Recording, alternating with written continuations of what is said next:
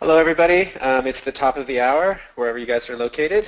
Um, today we are going to start our webinar. So thank you for attending today's webinar. Uh, my name is Amir Hamawi. I'm a senior VDC specialist working in the Project Delivery Services Group in Berkeley, California. Uh, so getting started, today's webinar is on positioning your model in Synchro and will be presented by Mitchell Palmer, who has been with Synchro for almost two years. Mitchell holds a Bachelor of Science in Architectural Technology from Birmingham City University in England. Um, so I'm going to let him get started. If you do have any questions, please feel free to submit them in the panel and we will answer them. All right, Mitchell, uh, you're on.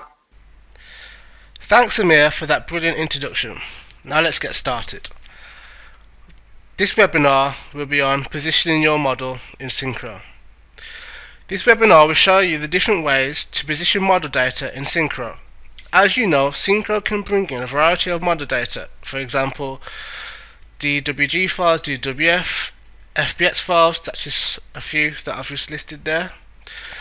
Depending on what CAD software you are using when bringing in model data, they might not always import into its correct coordinates position. So if we go to Synchro, the main tab that we will be using is 3D properties. This tab over here. And we're going to be using the translate tab. And over here. As you can see we have two options. We have relative and we have absolute. Relative we translate the selected object by the entered value relative to its current position absolute we translate the selected objects to the coordinate where the x, y, z values are regardless of its current position. Now there are a few ways in which you can find the coordinates of certain 3D elements in Synchro. One way is if I right click, create, and I'll go to the bottom, 3D notation in footnote style. Now let's say if I click this point of that slab it will give me the coordinates here of that point the XYZ coordinates. Another way is if I select this slab and click get bounding box it will give me the coordinates of this bounding box so basically it's just an imaginary box around this 3D element. And it will also give me the box center which is here. If I write these down as I'm going to bring in model data that I want to place in this area. So if I write down these coordinates here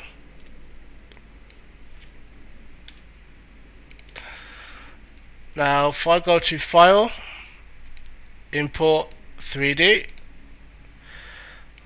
click the file that I want. Go to next next again. I want to translate. If I type in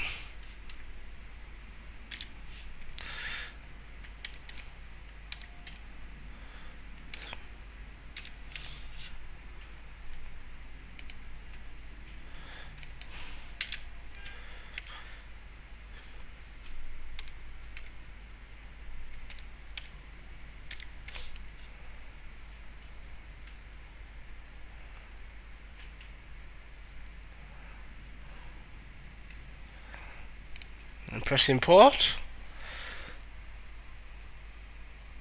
Assign to new resource. So just go back name it Battersea and change it to material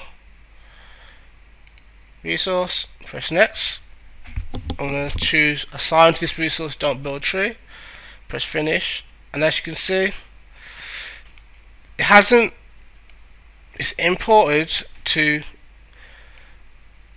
the box center coordinate that we imported on import.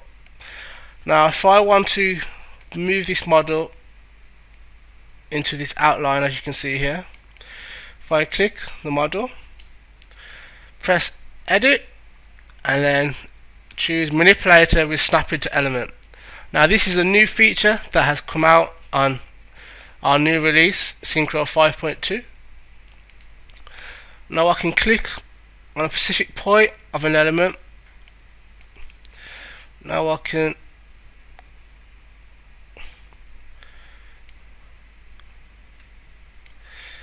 I can now move this element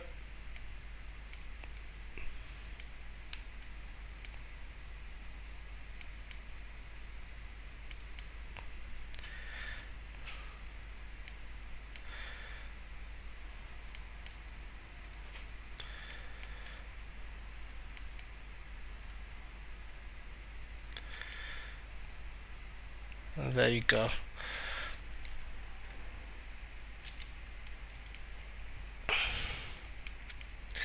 Now I've positioned that model perfectly in Synchro. Now I'm going to show you how to use the relative and absolute options.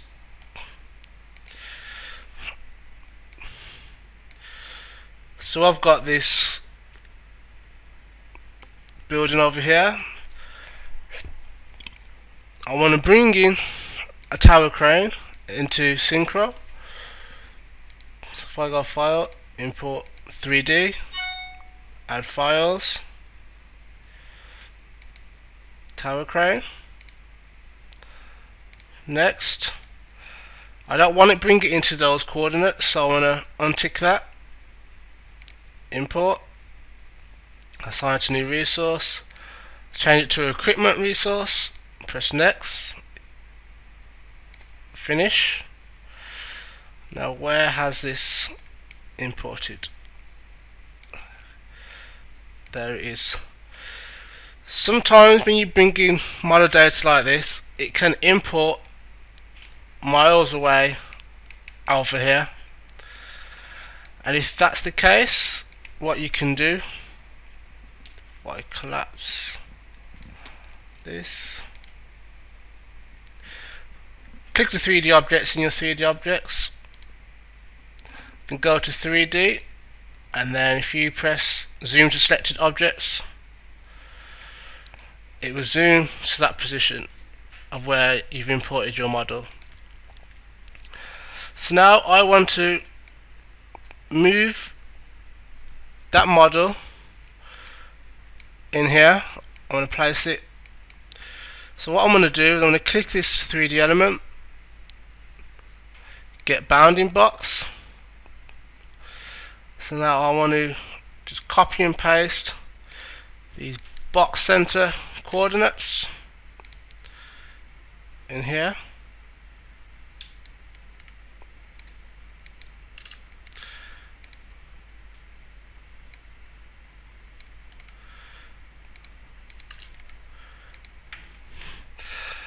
Now press escape.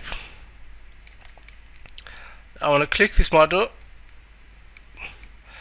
and this time I want to do an absolute translation. So make sure I've got that selected. If I press translate and as you can see the tower crane has translated to those coordinates. Now if I press relative and click that 3D model, it will translate relative to its current position. As you can see here, it's moving along.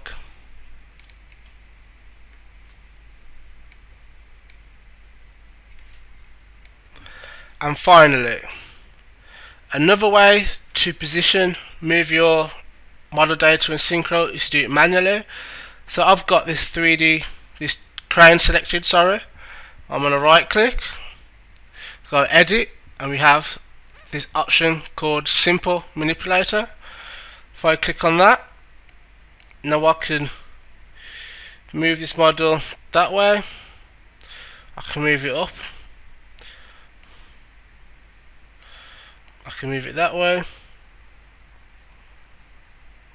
I can rotate it And then the other option is Advanced Manipulator, which gives you a few more options.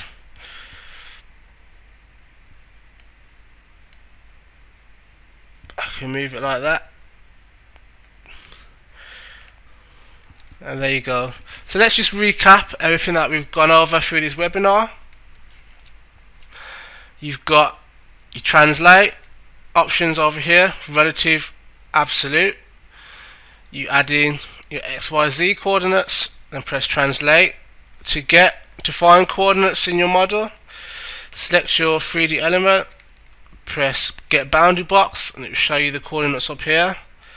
Another way is to create, click one of these options and it will give you your coordinates. And you can move 3D model data by edit and you have these options over here. And that is the end of my webinar. If you have any questions I will be here for a few minutes to answer any questions that you have. Thank you very much